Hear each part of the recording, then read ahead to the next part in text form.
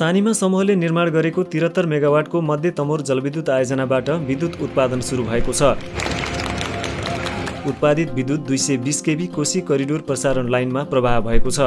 Sanima middle Tamor hydropower limited प्रवर्धक रहेको आयोजनाबाट पन्ध्र दिनसम्म परीक्षण उत्पादन गरेपछि व्यावसायिक उत्पादन सुरु गर्ने जनाइएको छ। म्याग्दीको मालिका गाउँपालिका छको उपल्लो दुखु गाउँमा पोल गाडेको चार वर्षपछि केन्द्रीय प्रसारण लाइनको बिजुली बलेको छ। दुखु लगायत आसपासका तीनवटा ओडामा विद्युतीकरण गर्न दुई हजार चौहत्तर सालमा काम सुरु गरी दुई हजार छयत्तर सालमा पोल गाडिएको थियो। बिजुली पुगेसँगै त्यस ठाउँका उनान्सय घर केन्द्रीय प्रसारण लाइनमा जोडिएका छन्। नेपाल आयल निगमले रूपन्देहीको ओम सतिया गाउँपालिका स्थित रोहिणी खोला किनारमा पेट्रोलियम भण्डारण गृह निर्माण प्रक्रिया अघि बढाएको छ। तीन अर्ब लागत अनुमान गरिएको भण्डार गृहले लुम्बिनी प्रदेशको बिस दिनको पेट्रोलियम माग धान्ने क्षमता रहेको निगमले जनाएको छ।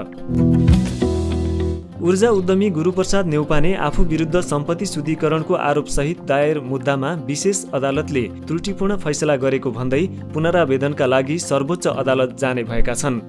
रिडी पावर कम्पनीका पूर्व अध्यक्ष रहेका नेउपानेले सेयरको भित्री कारोबार गरेको आरोपमा सम्पत्ति शुद्धिकरण विभागले विशेष अदालतमा मुद्दा दायर गरेको थियो।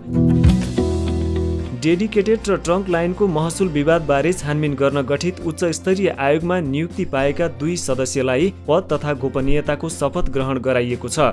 आयोगका अध्यक्ष पूर्व न्यायाधीश गिरिश चन्द्र लालले सदस्य नियुक्त जलस्रोत तथा सिँचाइ सचिव सरिता दुवाडी र उद्योग वाणिज्य तथा आपूर्ति मन्त्रालयका वाणिज्य सचिव दिनेश कुमार घिमिरेलाई शपथ गराएका हुन्।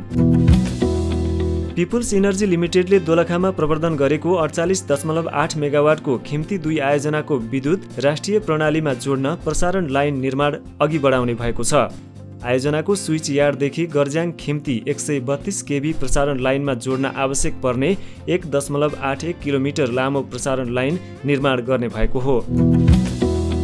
लमजुङमा चालिस दशमलव दुई सात मेगावाटको सुपर न्यादी जलविद्युत आयोजना निर्माण गरिरहेको सिउरी न्यादी पावर प्रालीले निष्कासन गर्ने साधारण सेयरको प्रत्याभूति नागरिक लगानी कोषले गरिदिने भएको छ। कम्पनीका अध्यक्ष शैलेन्द्र गुरागाई र कोषका कार्यकारी निर्देशक पर्वत कुमार कार्कीले यसका लागि एक सम्झौता पत्रमा हस्ताक्षर गरेका छन्। ऊर्जा मन्त्री शक्तिबहादुर बस्नेतले खिम्ती एक जलविद्युत आयोजनाको प्रवर्धक हिमाल पावर लिमिटेड र सरकारको संयुक्त लगानीमा छुट्टै कम्पनी स्थापना गर्ने तयारी भइरहेको बताएका छन्। कम्पनीमा दोलखा र रामेछापवासीका लागि सेयर लगानी सुनिश्चित हुने पनि उनले बताए। विद्युत प्राधिकरणका कार्यकारी निर्देशक कुलमान घिसिङले खिम्ती ढल्केबर चार सय केबी प्रसारण लाइन बन्ने बताएका छन्। किसिङले दुई सय बिस केबी खिम्ती ढल्केबर प्रसारण लाइनले अहिलेको विद्युत भार थेग्न नसक्ने भएकोले भविष्यमा उत्पादन हुने विद्युत आयोजनाहरूलाई लक्षित गरी अर्को हाई भोल्टेज प्रसारण लाइन बनाउन लागि बताएका छन्। नवीकरणीय ऊर्जाको माध्यमबाट कृषिका लागि दिगो सिँचाइ प्रवर्धन गर्न राष्ट्रिय क्षेत्रीय तथा अन्तर्राष्ट्रिय सम्मेलन आयोजना गरिने भएको छ। वैकल्पिक ऊर्जा केन्द्रले अन्तर्राष्ट्रिय पानी व्यवस्थापन संस्था इमी र अन्तर्राष्ट्रिय एकीकृत पर्वतीय विकास केन्द्र इसिमोडसँगको सहकार्यमा वैशाख दसदेखि चौध गतेसम्म अन्तर्राष्ट्रिय सम्मेलन आयोजना गर्न लागि हो। भारतलाई ऊर्जा सुरक्षाको प्रत्याभूति दिलाउन भारतीय जनता पार्टी भाजपाले प्रधानमन्त्री उज्यालो योजना कार्यक्रमलाई अझ बढावा दिने र कैयौँ नयाँ कार्यक्रम ल्याउने घोषणा गरेको छ। पार्टीले आफ्नो घोषणापत्रमा भारतलाई आवश्यक हरित ऊर्जाको परिपूर्तिका लागि समेत विभिन्न प्रकारका इन्धन उत्पादनका कार्यक्रम अघि बढाइने उल्लेख गरेको छ।